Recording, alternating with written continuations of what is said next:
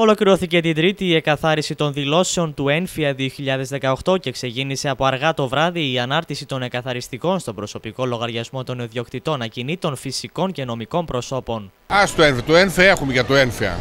Για το ΕΝΦΙΑ εντάξει, οι Γερμανοί πληρώνουν ντάγκ, μήνας μπεν, μήνας βγαίνει, το μισό έρχεται. Το ΕΝΦΙΑ τον πληρώσουμε, τι έκανουμε. Πολλά, λίγα. Ε, έτσι και έτσι. Κάνει 250. Δεν ήρθαν τα χαρτιά να δω πόσο θα πληρώσω.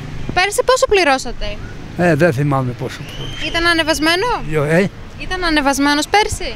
δεν ξέρω. Θα πληρώσουμε κάτι λιγότερο από ό,τι είδα γιατί ερχόντουσαν εκεί άτομα, λέει 10-15 ευρώ λιγότερα. Τα άλλα όμως θα βρούμε.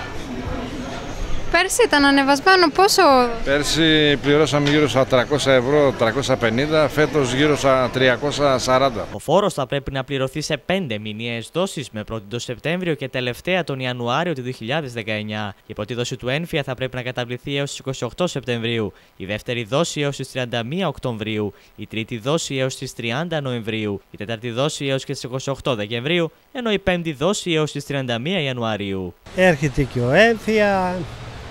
Ε, πολλά είναι.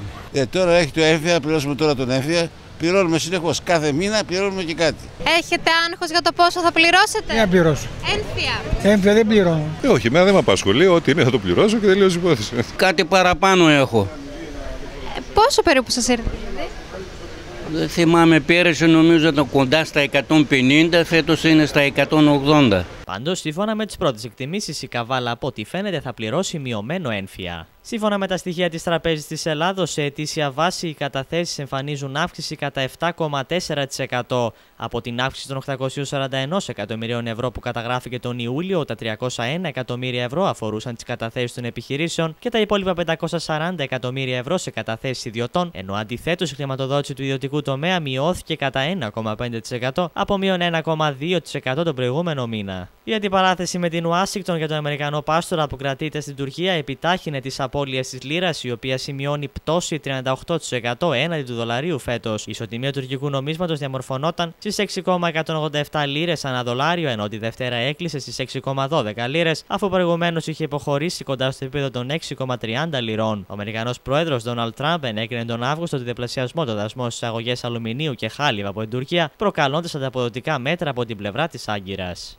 Ε, και σε αυτήν τη φάση οι, ακόμη και οι Τούρκοι σπέβδουν να διώξουν που λένε τις λίρες από πάνω τους και να έχουν κάποιο πιο ισχυρό νόμισμα στα χέρια τους. Κάνει το ύψος των ελληνικών επενδύσεων στην Τουρκία περίπου τα 6,8 δις. Υπάρχουν αρκετά μεγάλες ελληνικές και άλλες μικρότερες εταιρείες οι οποίες ε, είναι εγκατεστημένες στην Τουρκία και σίγουρα αυτό θα τις επηρεάσει καθώς ε, εισπράττοντας τοπικό νόμισμα και πουλώντας στην τοπική αγορά, αγοράζουν ένα νόμισμα ε, πολύ εξασθενημένο, το οποίο όταν μετατρέπεται σε ευρώ σημαίνει λιγότερα έσοδα και τριγμούς. Αυξημένη είναι η παραβατικότητα που διαπιστώθηκε κατά τη διάρκεια των φορολογικών ελέγχων των κλιμακίων της Ανεξάρτητης Αρχής Δημοσίων Εσόδων σε επιχειρήσεις και επαγγελματίες της Βόρειας Ελλάδας στο πρώτο εξάμεινο του 2018. Σύμφωνα λοιπόν με τα στοιχεία της Ανεξάρτητης Αρχής Δημοσίων Εσόδων, πραγματοποιήθηκαν 2.902 προληπτικοί έλεγχοι και 102